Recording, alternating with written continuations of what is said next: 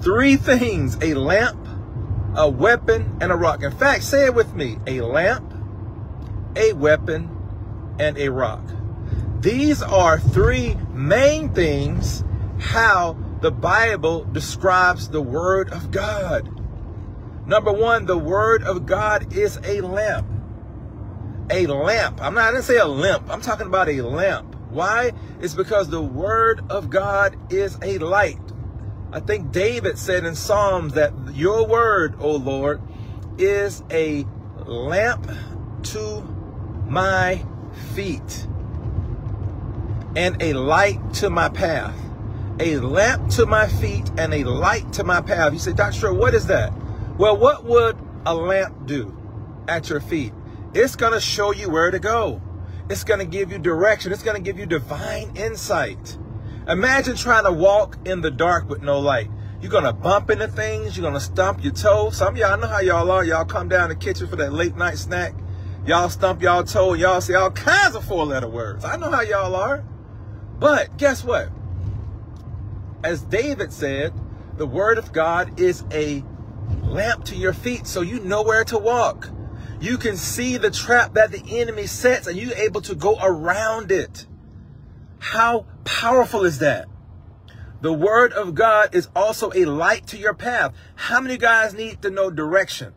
How many guys need to know the direction to get to your next step, the direction to your next promotion, direction to your next breakthrough in your health, direction in your finances, direction where it comes down to how in the world am I going to guide my children, not only through high school to college. In fact, where is my kid going to go to college? Some of you guys need direction on that. I know my wife and I, Lord, we need direction on that.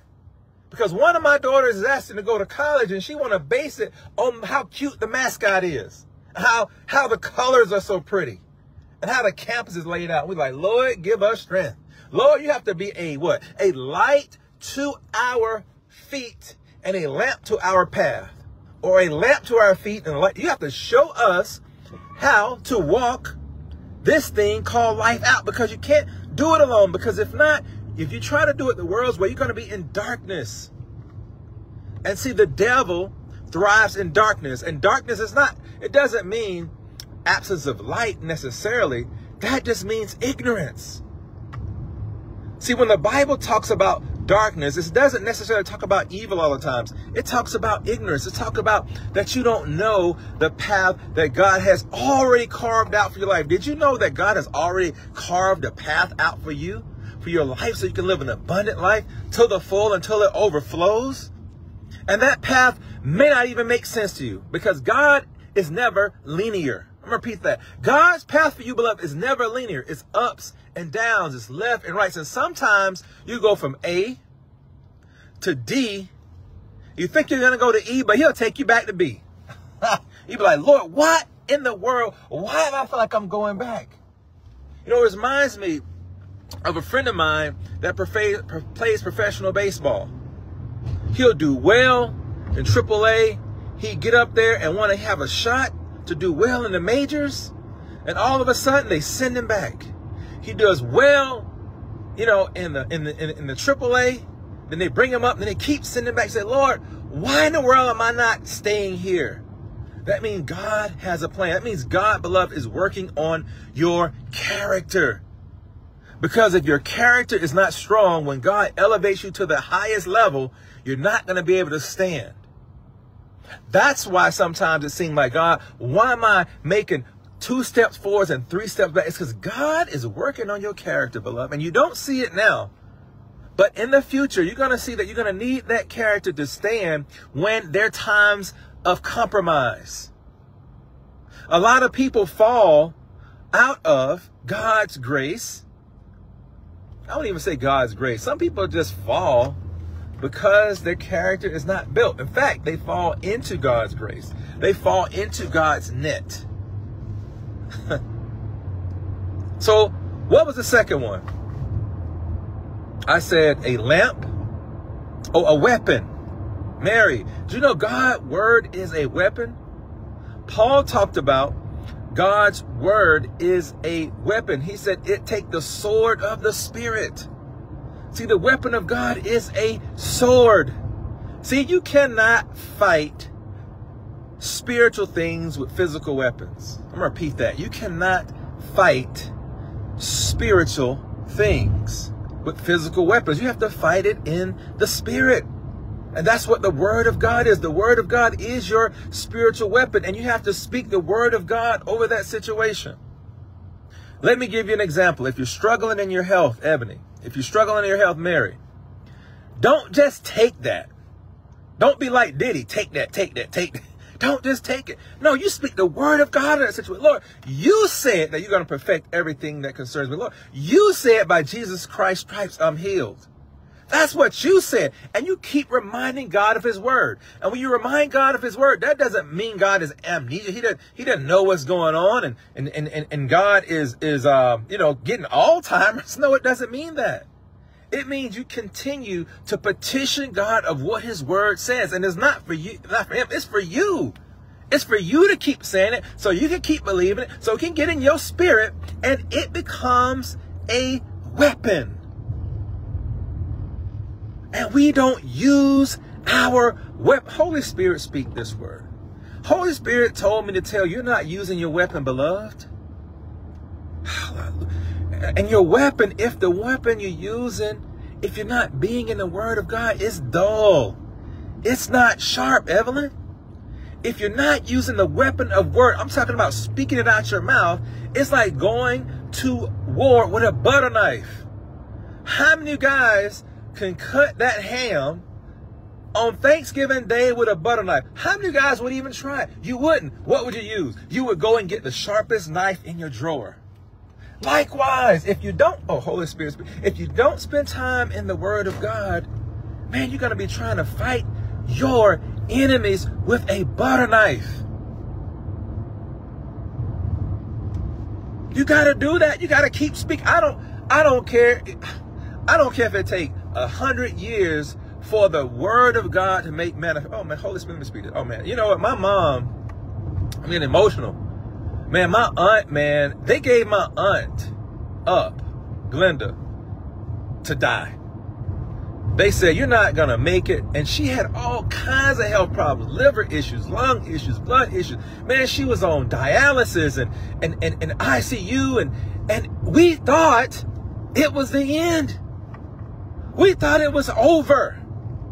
But somebody kept praying for her. Somebody kept saying, no, She's not going to go out like this. And I'm, I'm, I'm, I'm believing that she said it. Lord, you did not say I was going to go out like this. Lord, you said that you are a lily in the valley. Some of y'all don't, don't know about that song, A Lily in the Valley. So you got to be from a missionary Baptist church to be about, he's a lily in the valley. And what? Brighter than a morning star. Y'all can say it with me. He's a lily. I'm live right now in the valley. Brighter. Okay, let me let me let me let me let me let me chill off there. Oh, you can say, precious Lord. Precious Lord, take what? My hand. Man, if the Lord got your hand, you ain't gonna go down. Holy Spirit, speak this word. And so, anyway, my mom showed me a video. A video yesterday. She recorded my Aunt Glenda not just walking, man. She was twirling. you know what? Twir twirling is what Jesus do over you. Even in your lowest moment. He's singing and dancing. He said, he said, if you hold my word, I'm going to make sure it comes to pass. If you hold on to my word, I'm going to make sure it comes to pass. Man, I was able to see a for real miracle. You know how we, we read about miracles in the Bible of, of, of, Jesus raising Lazarus from the dead? Man, I saw Jesus raise my Aunt Glenda from literally the dead, man. I actually thought that she was somebody else. I thought that my Aunt Glenda was my auntie. And they were just playing a joke on me. When I saw that, I said, Lord, thank you for allowing us to be able to see your miracle working power in 2023. And if you don't believe it, man, go to my YouTube page, man, or go to my mom. I'm gonna repost that, man. I'm just saying, man, God is still in the miracle working business. Don't ever give up on your loved ones, man.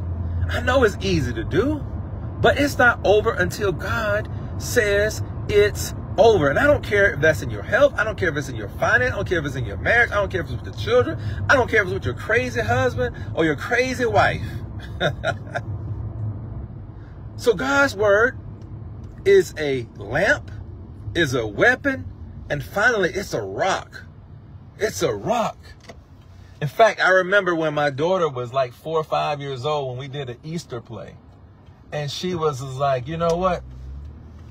Um, they rolled away the wok. She said wok. I'm like, what's a wok? Wok is something that Chinese people cook on. She said that's the best she can say. She meant rock. The word of God is a rock. See, when you build your life on the word of God, man, your foundation is solid. Man, no devil or demon in hell can take you from that solid place. That is the rock, man. If you build your word and you build your life on anything else, it's shifting sand. If you build your life on things of the world, you on shifting sand, man. At any moment, it can be snatched away. But if your life is built on the word of God, which Peter even said that it's the rock. Jesus, you are the rock. Jesus, your word is a rock. And I can build my life on that. Man, that's a solid foundation. That's a surety. Hey, lamp, a weapon, and a rock. Say it with me one more time. A lamp, a weapon, and a rock. God's word is a lamp, it's a weapon, and it is a rock. And it will never fail you. But you have to jump in. You have to get inside the word of God for yourself, number one. Sabrina, you have to, number two, you have to pray. Number three, you have to get around like-minded believers. People that's going to encourage you, people that's going to lift you up, people that's going to stimulate your faith. And you got to be around people that speak in the word of God. You got to continue to speak the word of God over your situation. And guess what? Not only that, even over yourself. We all get, get in disappointment. We all find ourselves in ditches in life. We all find ourselves in despair. We always, we, we can always find ourselves in parts of depression. Even the greatest people found themselves in times of depression. Heck, even Jesus himself found himself in a point of depression. Dr. Short, what are you talking about? Okay, do you remember when Jesus had to go to the Garden of Gethsemane? And he was so stressed out. The Bible says he was so stressed out. He had a condition called hemohydrosis. And basically what that means is that you're so stressed out that the blood actually extrapolates from your capillaries and mix with your sweat. And it's like drops of blood on the ground. And he said, Lord, if it's your will, if it's possible, please what? Take this cup away from me. Even Jesus himself felt depression and he felt stressed and he was so, so, so, so stressed out. And it wasn't the fact that he was stressed out because he was going to the cross, as some people taught and some people believe. No, he was stressed out because he said, God, I don't want to die here. I don't want to make it one step to the finish line and not finish the race. Lord, don't let me die in the Garden of Gethsemane. Because if he would have died in the Garden of Gethsemane, he would not have fulfilled all the prophecy that he came for, and we would not have salvation. We would not have our salvation if Jesus would have died in the Garden of Gethsemane. And that's why Jesus prayed to God, take this cup away from me because if I die here, I won't be able to die for the sins of all the people in the past, in the present, and future. And you did not bring me this far for me to die here. I know y'all ain't heard that. The Holy Spirit showed me that. Even Jesus dealt with everything that we deal with, right? addictions, depression, but he did not sin. So therefore, what we have to do is we have to link our faith to what Jesus did. He's the author and finisher of our faith. The Bible says Jesus is the author and finisher of our faith. And I'm going to close it right now. And I want you to say this with me. Evelyn, Ebony, uh, uh, uh, uh who else is on here? Mary, Sabrina, Angela, uh, Yvette, um, Tommy, you know, um, who else is on here live? Um, Gretchen. Jesus is my lamp, my weapon, and my rock. Say it one more time with me. Jesus is my lamp, Jesus is my weapon, and Jesus is my rock. Therefore, I cannot fail. I cannot fail. Ebony, you cannot fail. Remy, you cannot fail. Sabrina, you cannot fail. Evelyn, you cannot fail. Jeremy, you cannot fail. Tiffany, you cannot fail. Angela, you cannot fail. Ava, you cannot fail. Jayla, who you cannot fail. Say whoever you are watching, whether it's now or five years from now, you cannot fail. If Jesus is your rock, your weapon, and your uh, lamp, you can't fail. Hope you got something out of this. If you got something out of this, share this message. Click like. Go to my YouTube